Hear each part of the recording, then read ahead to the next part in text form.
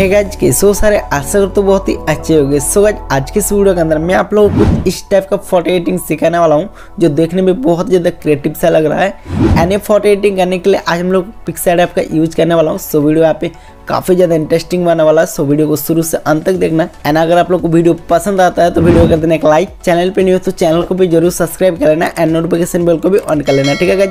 आप लोगों से मेरा एक छोटा सा रिक्वेस्ट है। अगर अभी तक ने मेरा इंस्टा आईडी को भी नहीं फॉलो किया तो क्या करो यार?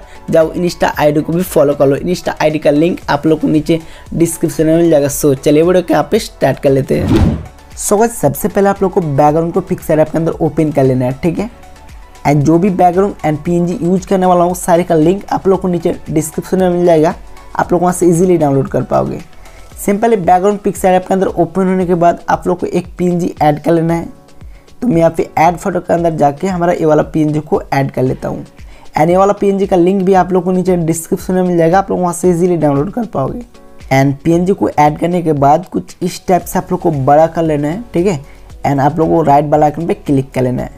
एंड सिंपली राइट वाला आइकन पे क्लिक करने के बाद आप लोग मतलब जो फ़ोटो एडिट करना है, वो फ़ोटो को ऐड कर लेना है। एंड कि मॉडल को अपना ऐड कर लेना है। तो मैं यहाँ पे सिंपली मॉडल को ऐड कर लेता हूँ। एंड मॉडल को ऐड करने के बाद आप लोग को यहाँ पे कट आउट टूल पे जाके इसका बैकग्राउंड को इरेज कर लेना है। सिंपल आप लोग को आउटलाइन को सेलेक्ट कर लेना है एंड कुछ इस टाइप से आप लोग को मॉडल को यहाँ पे सिलेक्ट कर लेना है, जैसे कि मैं अभी कर रहा हूँ, ठीक है?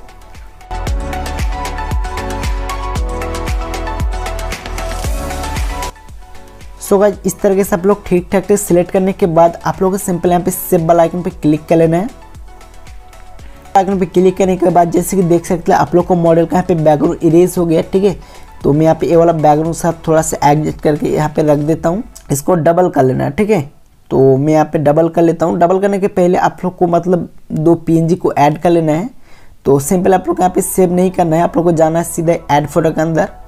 एंड ऐड फ़ोटो के अंदर जाके आप लोग को एक शेडो का पीएनजी को ऐड कर लेना है। तो मैं यहाँ पे दिखा देता हूँ कौन सा पीएनजी को आप लोग को ऐड कर लेना है।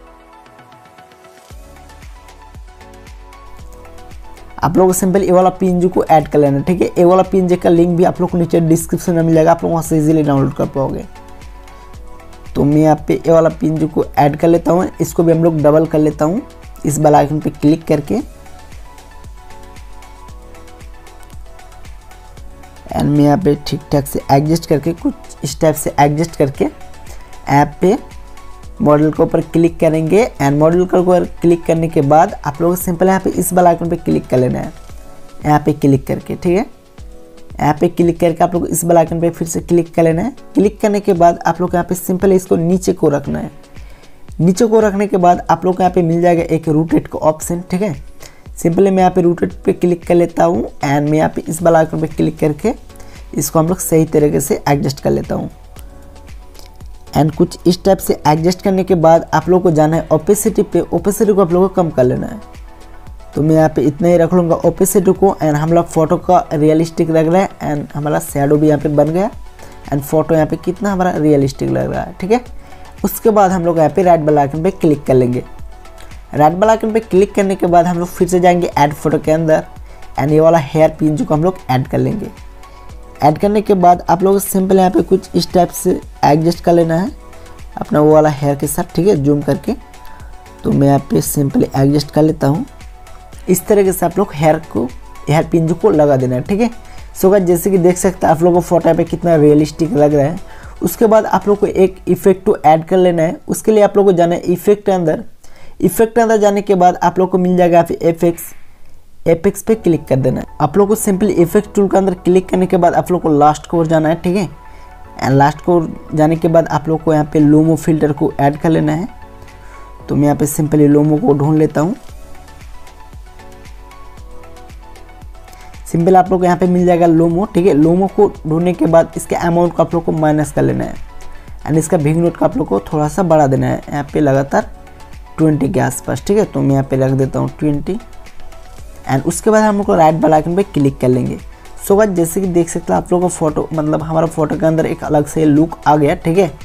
एंड आप लोग को यहाँ पे फेस को थोड़ा सा स्मूथ कर लेना है। तो उसके बारे में एक अलग से वीडियो बना के रखा हूँ मैं यहाँ पे। तो उस वीडियो का लिंक आप मैं डिस्क्रिप्शन में दे दूँगा। आप लोग वो वीडियो को देखने के बाद अच्छे तरीके से फेस स्मूथ कर लेना है ठीक है? तो गाइज़ इस तरीके से आप लोग ईजिली यहाँ पे फ़ोटो एडिटिंग कर सकते हो इस तरीके से ठीक है?